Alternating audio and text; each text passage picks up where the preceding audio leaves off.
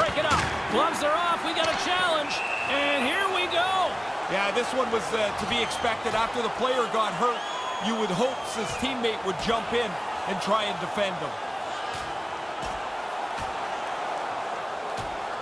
Well, we could see this one coming all along. Right down Main Street. These teams don't like each other. This is predictable.